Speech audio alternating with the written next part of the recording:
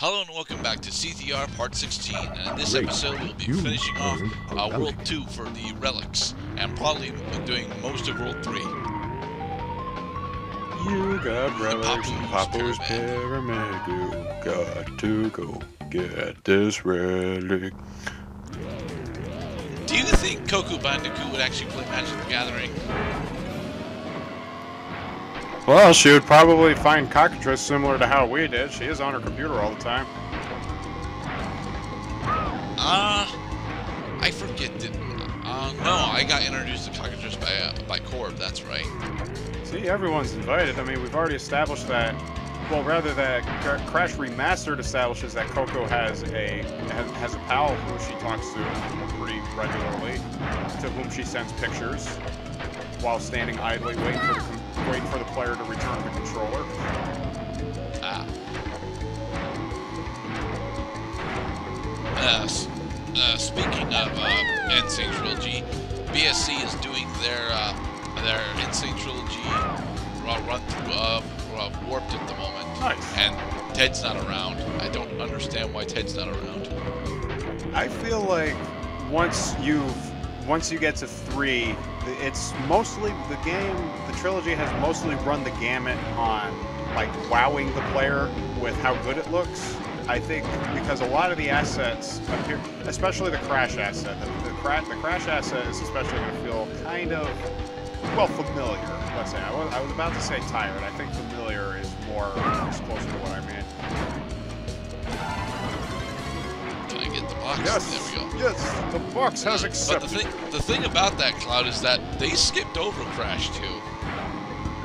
Oh god, you know what? I, you know what? I figure you're gonna skip over are those boxes on the left.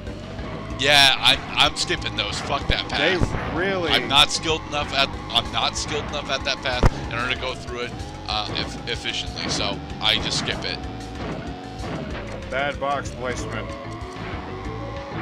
It's not technically bad box placement if you're good if you're good on that path, but I'm not. So God, this this this level has has had some of the most precarious box placements I've seen yet.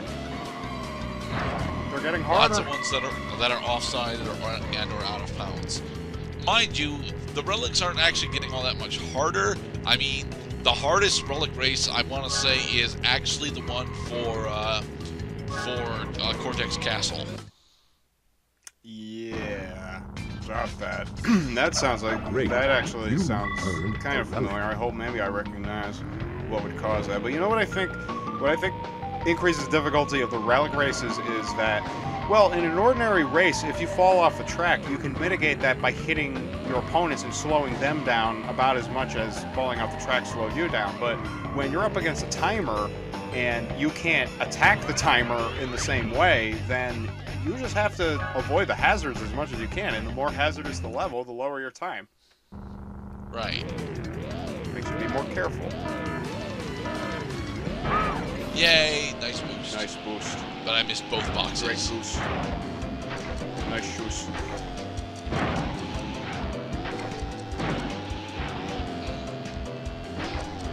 So I'm, I'm attempting to, fa- uh, to fabricate some bullshit for us to discuss um, while uh, whilst we're going through yet more repeats because you know I like Blizzard Bluff, sure, but it's not actually all that it's not all that difficult of a time trial. I still end up get- getting close here as far as I can recall. Mostly because again my routes are, are not anywhere near uh, are not anywhere near the best. We could have gotten that too on the outside. That is what you could do. Or get that tree. You left it. Or the one. It will be done. You almost say what? Three. Me. Two. Poo. Being hypnotized by boxes. Persuaded to take baths. Um, not me. I've I've actually been I've been slowly building up uh, building up resistance to hypnosis. I mean, that's it sounds absolutely batshit insane when I put it like that, but it's kind of what I've been doing recently. Um, I'm not. I do not personally believe that hip, that hypno that uh, hypnosis is something that is a legitimate art form. But as it does help people from time to time, I have to concede that there are people that get that get help from hypnosis, and good on them for it. But I will almost always never be a person to get assistance from hypnosis because I learned pretty early on that uh, one that one of the uh, most important facets of hypnosis is that if you do not want to be hypnotized, no one can force you to be hypnotized. Precisely. You have to you have to be open to you have to be consciously open to suggestion because if you're consciously closed to suggestion, then su- then suggestion will have no effect on you. You'll be resisted.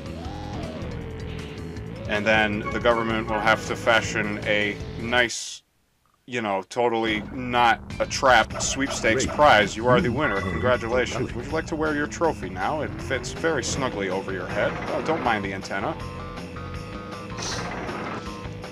Why isn't it a jacket? Oh, uh, we wanted you to feel snug. I mean, after all, you're the winner. We wanted you to feel good. Yeah.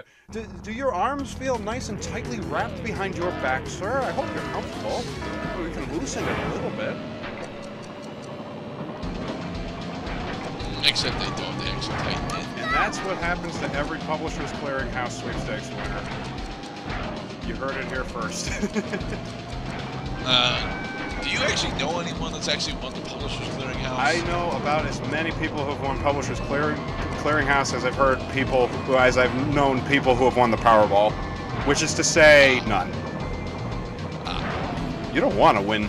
This is Dragon Mines again. Fuck this level. Fuck this level. This level sucks. Harmonica.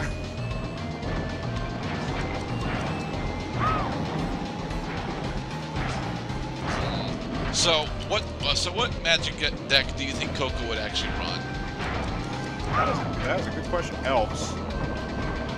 Really, She would, elves. she would, Coco Bandicoot would run elves. Mono green elves. I personally, I personally think that uh, she'd actually run Izzet Storm.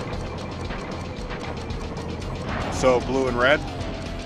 Yep, blue red, blue red Storm. Interesting.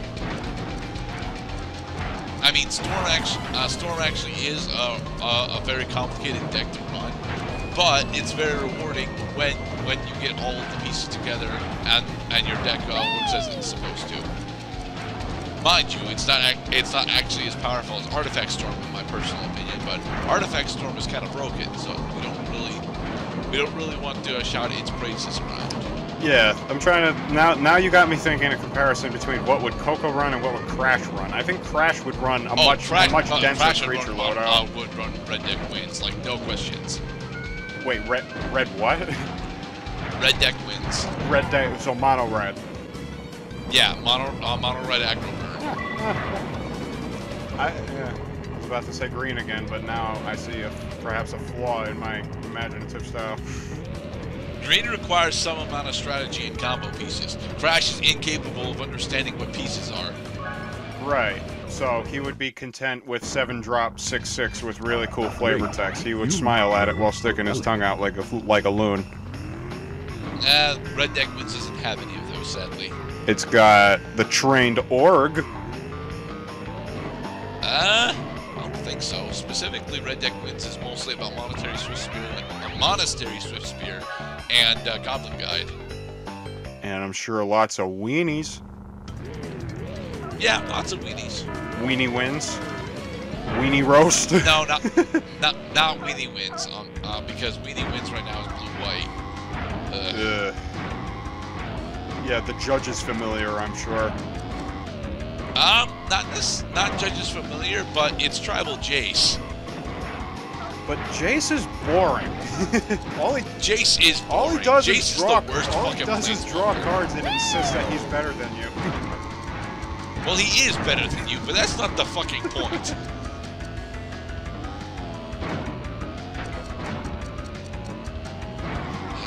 But seriously, Jace, uh, Jace has for a long time been the worst, uh, the worst of the Gatewatch play, planeswalkers.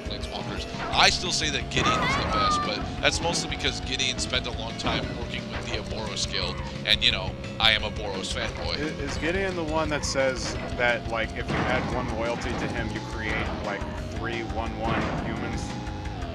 Um, I think one of Gideon's uh, cards does that. Although, to be perfectly honest, that honestly sounds more like on Ajani thing, or maybe an Elspeth. Elspeth. Yeah, yeah. I think I think you hit the nail on the head. Elspeth. You see what doing repeats of levels that maybe resemble the bear down level from Crash do do to us? There's nothing new to commentate on except boxes and boxes. All kinds of toxins. No, and they're not even all that many toxins. I mean, sure, you have the uh, frozen lake that's uh, constantly an issue, but that was an issue in the last part that we didn't uh, that we didn't actually uh, bring up. So no, there's really not much more that we can uh, really di- dissect about this level. Well, yes, it's a fun fucking track. It really is. But my God, why are we? Uh, I Because it's necessary. I want to say, was it necessary to actually show to show the relic trip? Yes. And to be perfectly honest, it was not necessary, but I wanted to do it any goddamn Well, way. it- I am a terrible. Look, here's exposition. Is this this course actually has a really relaxed sapphire time? You have you have three minutes. You have three fucking Yeah. minutes to finish the race, and you got the relic. Yeah. And to be perfectly honest, you can almost do that without picking up boxes. I want to say that if you're if you're really skilled at it, you can get each lap in just over a minute. So, yeah, the, the sapphire time is really easy. Well, you know Um, what? You know what a really uh, relaxed. You know what a really relaxed sapphire time does? It makes a it makes a really tedious platinum time. I'm sure. Um, I'm not sure. I want to say the platinum time's 155. I'm not. I really don't know. Oh, we're about to find out in a second how close you were. No. Well, well, we're not gonna find out what the platinum time is. Again, I'm not beat oxide yet, so we don't get to see the platinum time. Oh, right, because you don't get to see the platinum time, even even though you get the gold. And what else is there to do but get better than gold? Boom. All right, so you beat the gold time by 26 seconds. That is intimidating. Yep. I'm scared. Well, again, Polar Pass is one of my favorite fucking levels. It's just a, it's such a pleasant level too. Except It is a very pleasant level. see, it, it even freezes the, the monster polar bear, so you feel safe. Yeah. Great. And in the next All right. part, And in the next part, we will do Tiny Arena, which will close out the end of World Three, and then we'll transition to World Four. Once we have all the World Four relics, we will end up doing Slide Coliseum, I believe. get sliding.